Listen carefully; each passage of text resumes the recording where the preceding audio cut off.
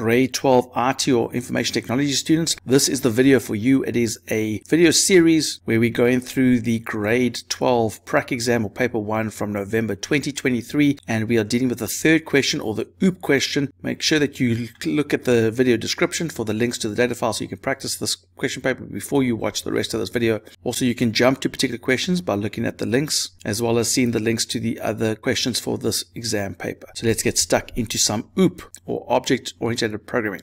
So we are dealing with, as I said, question three, which is the object-oriented programming question. And yeah, they tell me the details. Now, please take note, you're dealing with two different programs. You're dealing with the main program, which is question three, and you're dealing with the school class, which is an incomplete object class that they've created for you. So make sure that you're working in both files.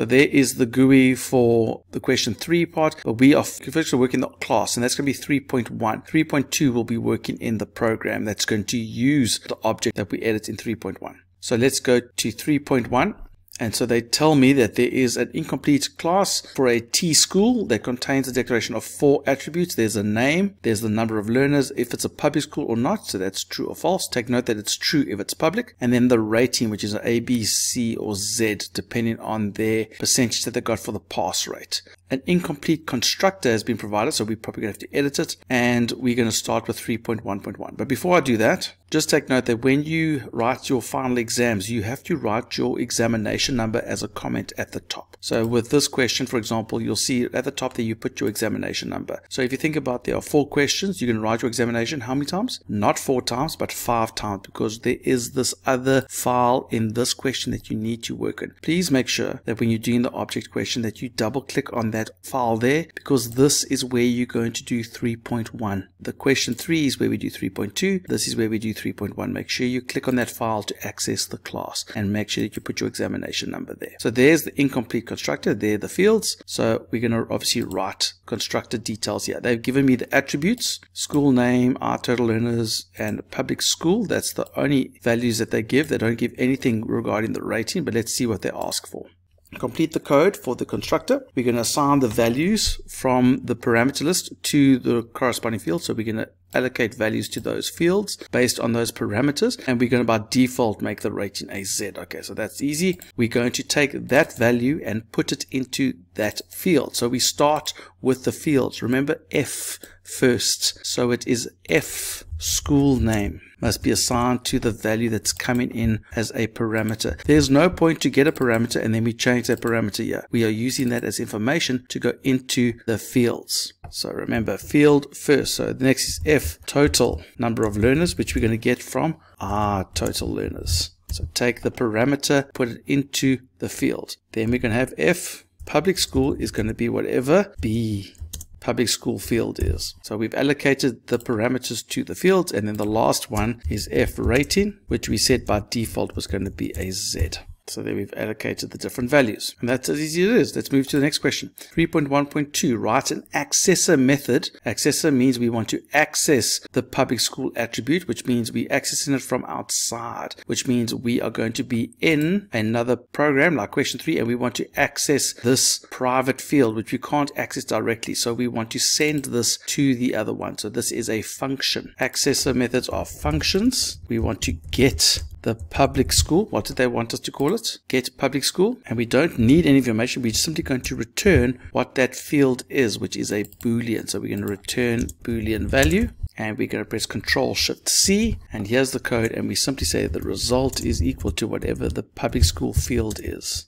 Send that field back. 3.1.3 every year the rating of the school will be updated based on the percentage pass rate. The percentage pass rate is calculated using the total number of learners who passed and the total number of learners at the school. So the information in the table below is used. So that's a pass rate. So that's 80% or higher is a A a B is 60 to 79 and C is 60 and we need to write a method called update rating which receives the total number of learners who passed as a parameter. It's going to use that value and the total learners to work out what the pass rate is and use this to set the value of F rating. You'll notice there's nothing here about something being returned. So this is not a function. This is a procedure. So because we saw nothing being returned, we're going to call this procedure update rating, but it does take in a parameter. It says there that receives the total number of learners who passed as a parameter value, which I'm assuming will be an integer. Because you can't have 0.3 of a student passing. So I'm going to call it r passed of type integer,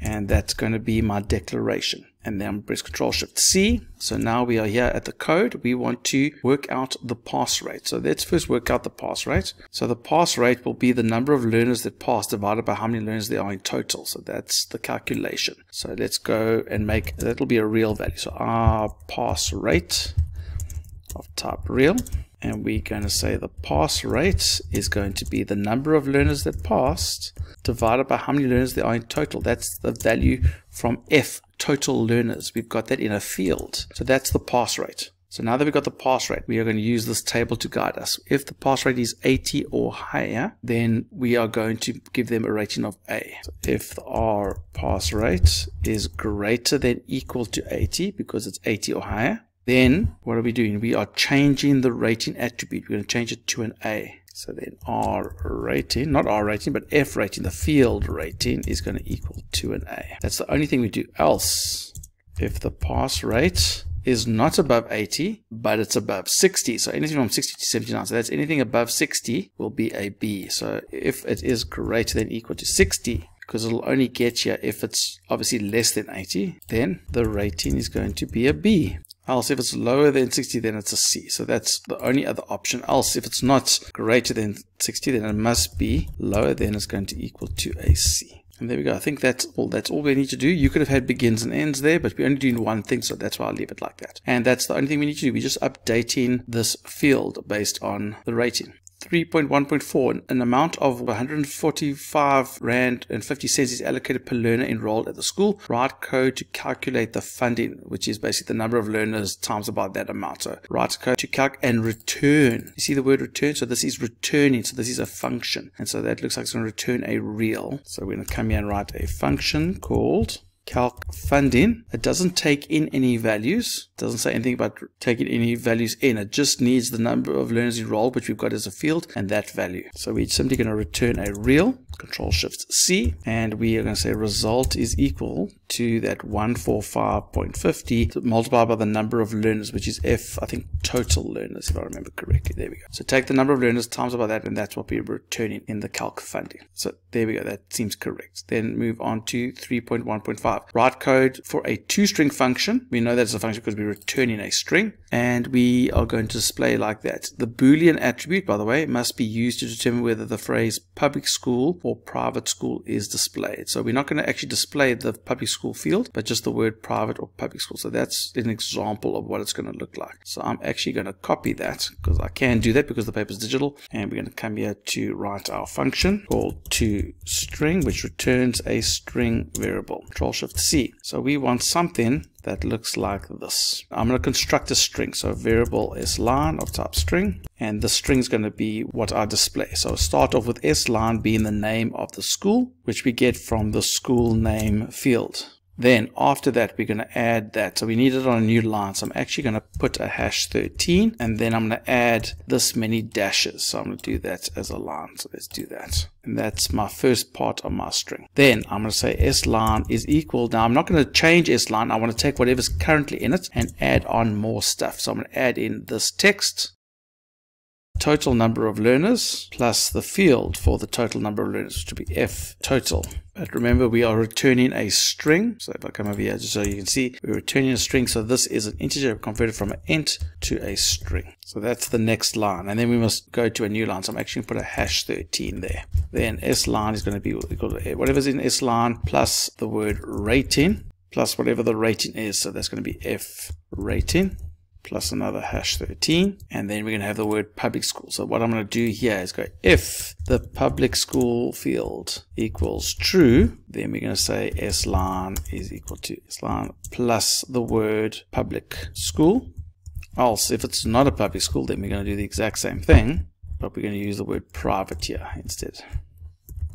There we go. I think that's exactly what they want so let's leave it at that And that means that my S line is now complete, but that doesn't mean that we finished. We want to still return that. So remember, once you've done that, then you must say at the end, result is equal to whatever this S line is. So we created a string, we kept adding on to it, S line, S line plus more stuff, add more stuff, add more stuff. Then we send back S line as our final answer. So I think that's all done for question 3.1. We now move on to 3.2. Now take note, we can't actually test any of those functions and procedures to see if they work. We can only discover if they work properly here. So we might have to go back and edit them if we need to, if we made mistakes, but you can run it to see if there are any errors in your syntax. And as you can see, it runs. So therefore that code is all correct. So now we move to the main program and this is 3.2. So we're going to jump down to question 3.2.1. The user must enter the school name in the edit box and the total number of learners in that spin edit and then tick whether it's a public school or not with a checkbox and we can extract those details and use that information to instantiate a new school object and then display the details in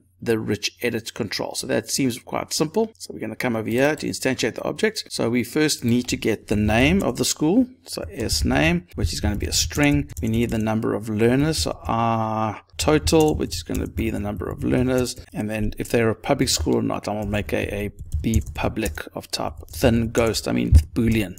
Get it thin ghost because it's a boo that's lean. So let's go and get the values. We're first going to get the name, which we're going to get from the edit box the dot text property, and that's a string to a string, so that's fine. And the total we're going to get from the spin edit, which is a dot value field, so that's an integer to integer, so that also works. And then my b public is going to get whatever is from the checkbox, I think it's chb, checkbox one, whatever its checked property is. Remember the checked property, if it's checked, it means the checked will be true, which means b public will be true, which means it's public. If it's not checked, it'll be false. So that's how I get the three values, and then we can instantiate our object. You will see that there's a global variable object school that's been declared for us. So we can use that in our code. So I'm going to come here and go obj school. Now we want to instantiate. So we want to call the create method. Now that seems to make sense of how we normally call our functions and procedures in that, but it's not with the constructor. Please don't do that with the constructor. It's not like that. You're going to make it equal to what it is. It's a T school object. Whatever you have it over there, that's the type of object dot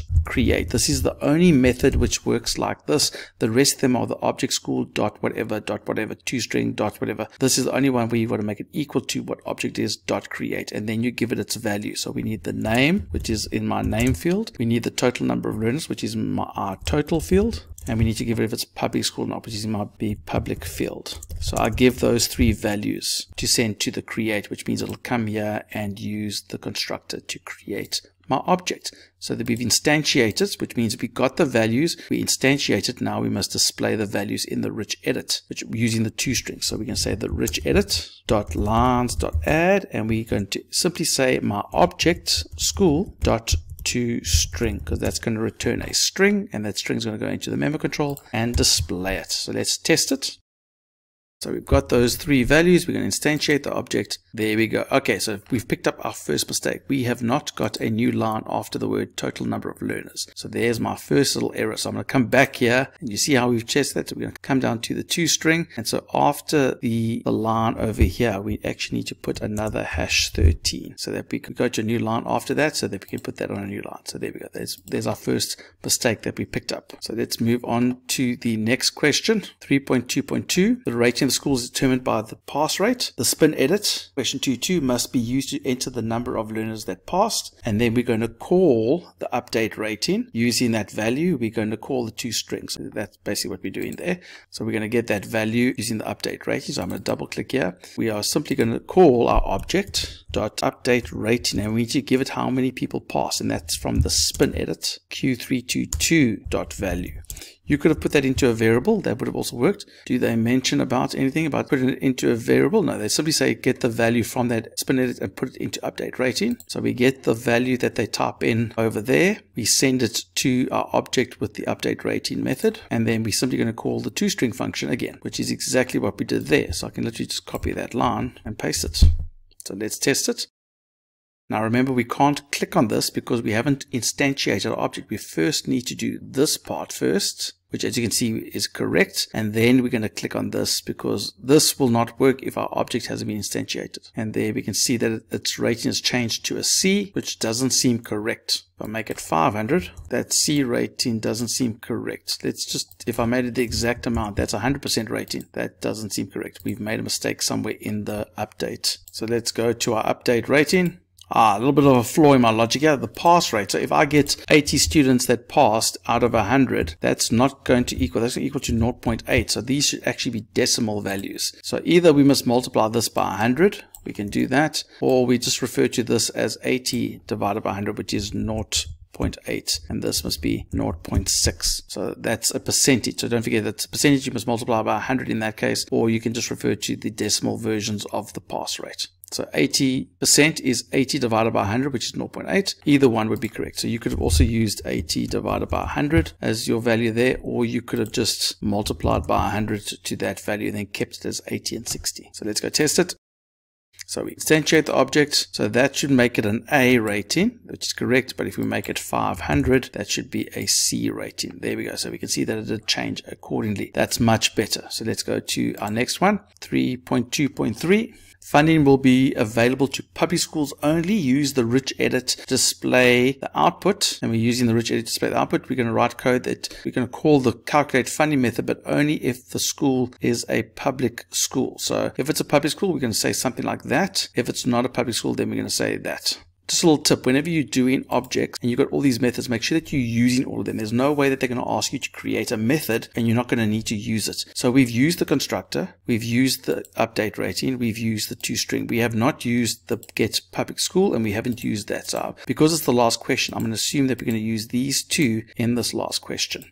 So keep track of that. So over here, calculate funding. So we got to work out if the school is public or not. So that's going to be using the get public school method. So it's the object school dot get public school. If that equals true, because that's going to return whether it's a public school or not. If it's true, then we know it's a public school. Then what do we need to do? There's a few things. The first thing we need to do is to work out how much funding they're going to get. If you remember correctly, that's going to return a real. So we actually need to have a variable for that. So I'm going to make a variable called R funding top real and we're going to say our funding is going to equal to whatever the object school is dot get funding. And that's going to get my answer. And then we're going to display in the rich edit we're going to display the following text. Public school will receive and that's how much funding. So i'm going to type it quickly so there we have the value, but remember we want to display it as a currency and we need to convert it from a real to a string. So we're going to convert it from a float to string F and we want to say FF currency comma 8 comma 2 so to two decimal places display the funding to two decimal places as a currency. So that's what happens if the school is public. If it's not else what do we do? Then we just say no funding available. So i'm just going to copy this and say no funding available, just like it is. So let's test that out. I think that's all that they wanted. Let's go test it. Again, we can't do this button unless we've instantiated the object. So let's go click on this one first, and then we can actually go and do funding. And there we go. I think that value is the same as what we wanted earlier. So I think that's working. So if we deselect it and we instantiate the object, so now it's a private school and we click on funding, it'll go no funding available. So there we go. I think that's correct. I think that's all done. That seems to be all the questions. And then we're done with the OOP question. We can now move on to the final question, which is arrays. Don't forget to do two things, and that is subscribe to the channel and make sure that you share us with your friends so they can subscribe too. Follow us on our other channel at Mr. Long Computer Terms and on TikTok at Mr. Long Education. Leave a like, leave a comment. We'd love to hear from you. And remember, don't do it the long way, do it the Mr. Long way.